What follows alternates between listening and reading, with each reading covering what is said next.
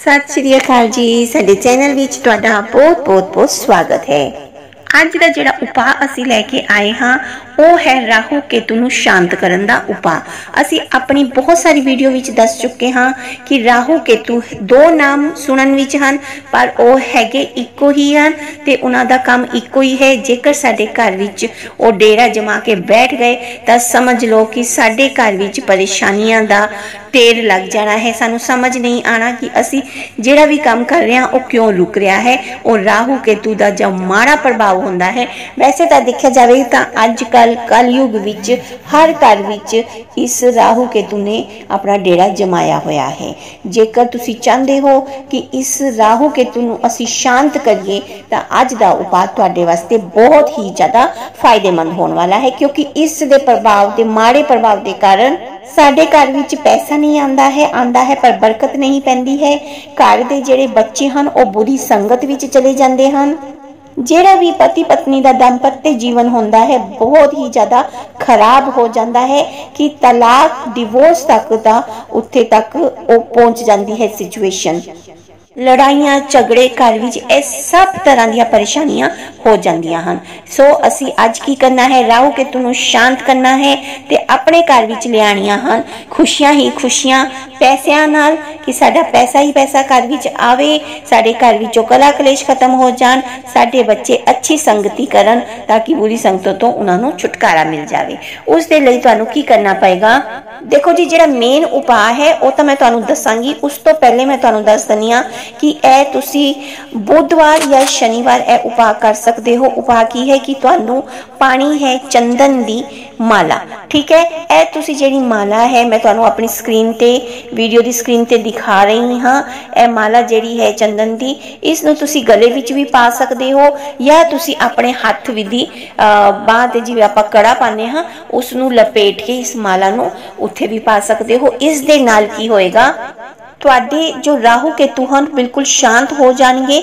ਠੀਕ ਹੈ ਜੀ? ਤੁਸੀਂ ਬਾਹਰ ਕਿਧਰੇ ਵੀ ਜਾਓਗੇ, ਕਿਉਂਕਿ ਰਾਹੂ ਕੇਤੂ ਦੇ ਨਾਲ ਅਕਸਮਿਕ ਕਦੀ ਵੀ ਦੁਰਘਟਨਾ ਹੁੰਦੀ ਹੈ, ਕੋਈ ਵੀ ਮੌਤ ਹੁੰਦੀ ਹੈ, ਇਸ ਦੇ ਨਾਲ ਇਹ ਤੁਹਾਨੂੰ ਜਿਹੜੀ ਮਾਲਾ ਹੈ, ਉਹ ਪ੍ਰੋਟੈਕਟ ਕਰੇਗੀ। ਬਾਹਰ ਕਿਧਰੇ ਵੀ ਜਾਓਗੇ, ਤੁਹਾਨੂੰ ਕਿਸੇ ਵੀ ਚੀਜ਼ ਦੀ ਨਜ਼ਰ ਨਹੀਂ ਲੱਗੇਗੀ, ਔਰ ਤੁਹਾਡਾ ਜਿਹੜਾ ਵੀ ਤੁਸੀਂ ਕੋਈ ਕੰਮ ਕਰਨ ਜਾ ਰਹੇ ਹੋ, ਉਹ ਕੰਮ ਪੂਰਾ ਹੁੰਦਾ ਹੀ ਹੁੰਦਾ ਹੈ।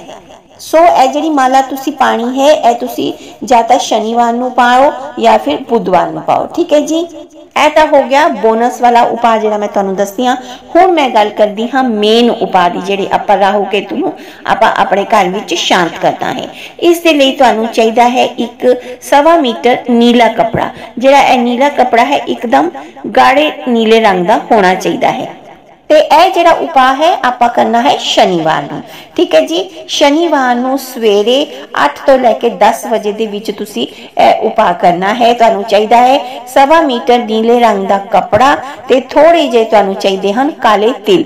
ਠੀਕ ਹੈ? ਉਸ ਨੂੰ ਜਿਹੜਾ ਆਪਾਂ ਨੀਲੇ ਰੰਗ ਦਾ ਕਪੜਾ ਹੈ, ਉਸ ਦੇ ਅੰਦਰ ਤੁਸੀਂ ਇੱਕ ਕਟੋਰੀ ਕਾਲੇ ਤਿਲ ਪਾ ਦੇਣੇ ਹਨ ਤੇ ਇਸ ਦੀ ਇੱਕ ਪੋਟਲੀ ਬਣਾ ਲੈਣੀ ਹੈ। ਕਹਿਣ ਦਾ ਮਤਲਬ, ਇਸ ਕਪੜੇ ਨੂੰ ਤੁਸੀਂ ਇੱਕ ਗੱਠ ਲਗਾ ਦੇਣੀ ਹੈ। ਠੀਕ ਹੈ, ਇਹ ਪੋਟਲੀ ਬਣ ਕੇ ਤਿਆਰ ਹੋ ਗਈ ਹੈ।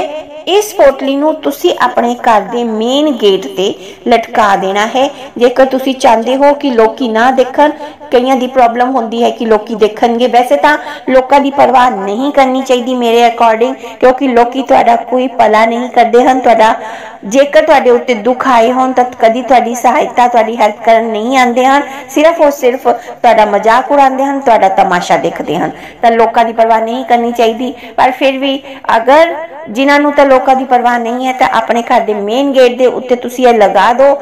ਦੇਖੋ ਰਾਹੂ ਕੇਤੂ ਦੀ ਜਿਹੜੀ ਵੀ ਬੁਰੀ ਦਸ਼ਾ ਤੁਹਾਡੇ ਉੱਤੇ ਆਈ ਹੋਈ ਹੈ, ਘਰ ਦੇ ਬਿਲਕੁਲ ਖਤਮ ਹੋ ਜਾਏਗੀ। ਕਿਸੇ ਦੀ ਮਜਾਲ ਨਹੀਂ ਕਿ ਤੁਹਾਡੇ ਅੰਦਰ ਉਹ ਘਰ ਵਿੱਚ ਐਂਟਰੈਂਸ ਕਰ ਸਕੇ। ਤਾਂ ਘਰ ਵਿੱਚ ਸਾਰੇ ਜਿੰਨੀਆਂ ਵੀ ਪਰੇਸ਼ਾਨੀਆਂ ਹਨ ਟੋਟਲ ਪਰੇਸ਼ਾਨੀਆਂ ਖਤਮ ਹੋ ਜਾਣਗੀਆਂ ਪੈਸੇ ਆਣ ਲੱਗ ਜਾਣਗੇ ਜੋ ਤੁਹਾਡੇ ਪਤੀ ਪਤਨੀ ਵਿੱਚ ਲੜਾਈਆਂ ਝਗੜੇ ਹੋ ਰਹੇ ਸੀ, ਉਹ ਖਤਮ ਹੋ ਜਾਣਗੇ।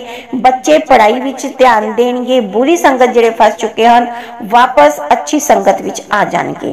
ਠੀਕ ਹੈ ਜੀ? ਔਰ ਜਿਹੜੇ ਮੈਂ ਇਹ ਗੱਲ ਕਰ ਰਹੀ ਸੀ, ਜਿਹੜੇ ਨਹੀਂ ਬਾਹਰ ਟੰਗ ਸਕਦੇ ਮੇਨ ਗੇਟ ਤੇ, ਤਾਂ ਉਹ ਆਪਣੇ ਘਰ ਦਾ ਜਿਹੜਾ ਵਿਹੜਾ ਹੁੰਦਾ ਹੈ, ਉੱਥੇ ਇੱਕ ਰਾਈਟ ਸਾਈਡ ਤੇ ਨਾ ਬਾਹਰ ਵਾਲੀ ਸਾਈਡ ਤੇ ਖੜੇ ਹੋ ਕੇ, ਉੱਥੋਂ ਸੱਜੇ ਪਾਸੇ ਵੱਲ ਇੱਕ ਕਿੱਲ ਲਗਾ ਕੇ, ਉੱਥੇ ਤੁਸੀਂ ਆਪਣੇ ਉਹ ਗਠਰੀ ਜਿਹੜੀ ਪੋਟਲੀ ਬਣਾਈ ਹੈ ਉਸ ਨੂੰ ਟੰਗ ਸਕਦੇ ਹੋ ਤੇ ਉਸ ਦੇ ਉੱਪਰ ਕੋਈ ਤੁਸੀਂ ਫੋਟੋ ਲਗਾ ਸਕਦੇ ਹੋ, ਜਿਸ ਦੇ ਨਾਲ ਕਿਸੇ ਨੂੰ ਵੀ ਨਹੀਂ ਪਤਾ ਚੱਲੇਗਾ ਕਿ ਤੁਸੀਂ ਕੀ ਲੱਗਿਆ ਹੋਇਆ ਹੈ। ਉਹ ਤੁਹਾਡੀ ਪ੍ਰੋਟੈਕਸ਼ਨ ਦੀ ਪੋਟਲੀ ਹੈ, ਜਿਸ ਦੇ ਨਾਲ ਤੁਹਾਡੇ ਘਰ ਵਿੱਚ ਖੁਸ਼ੀਆਂ ਹੀ ਖੁਸ਼ੀਆਂ ਆਉਣ ਵਾਲੀਆਂ ਹਨ। ਠੀਕ ਹੈ ਜੀ? ਚਲੋ ਜੀ ਐਸੀ ਹੁਣ ਮੇਰੀ ਅੱਜ ਦੀ ਵੀਡੀਓ ਦਾ ਉਪਾਅ ਤੇ ਜਾਣਕਾਰੀ। ਚੰਗੀ ਲੱਗੀ ਹੈ ਤਾਂ ਵੀਡੀਓ ਲਾਈਕ ਕਰੋ ਸ਼ੇਅਰ ਕਰੋ ਕਮੈਂਟ ਕਰੋ ਤੇ ਮੈਨੂੰ ਇਜਾਜ਼ਤ ਦਿਓ। ਮਿਲਦੀ ਹਾਂ ਅਗਲੀ ਵੀਡੀਓ ਵਿੱਚ ਤੁਹਾਡੀ ਕਿਸੇ ਹੋਰ ਪਰੇਸ਼ਾਨੀ ਦਾ ਵਧੀਆ ਜਿਹਾ ਹੱਲ ਲੈ ਕੇ।